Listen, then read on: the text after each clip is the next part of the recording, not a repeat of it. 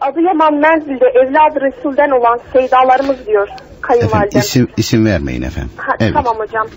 Onların bayan olanlarından yani onlar ne söylerse o da aynısını söylemiş. Tövbe alınmış.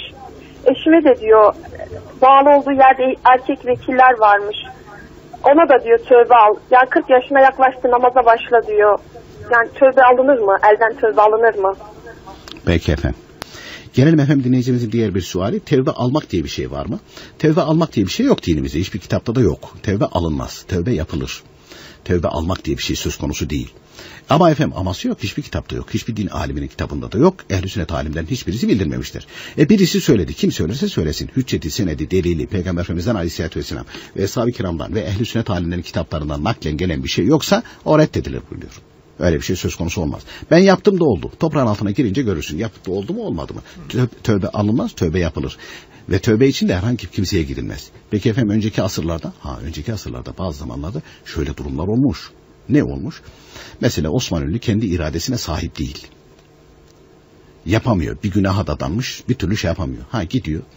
E, bir tekkede bir de e, dergahta veyahut da aynı şekilde bir medresede oradaki zata diyor ki efendim şahit olun ayağa kalkıyor.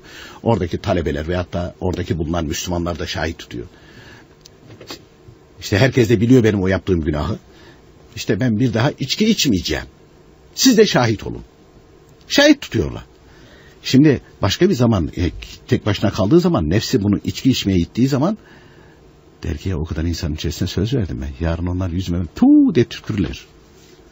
Nefis onlardan çekinerek o işten vazgeçer. Evet. Ya biri görürlerse, ya birisi görürse, sonra, son efendim Allah Teala görür. Bir dakika işte. E, O eğitim meselesi. Sonra sonra sonra sonra artık insanların görmesine aldırış etmez. Allahü Teala'nın görmesini idrak etmeye başlar. Onu anlamaya başlar. Ondan sonra da e, o o tabana çıkmış olur. O tabana çıktıktan sonra da mesele biter mi? Evet mesele biter. Ha bunu sen alıp da işte bak efendim o zaman da böyle yapıldıydı şimdi. Sen tövbe e, alı, e, alınmaz. Tövbe alınmaz. Tövbe yapmış o. Böyle yapıyor. Kendine nefsine kuvvet için mi? Evet kuvvet için efendim.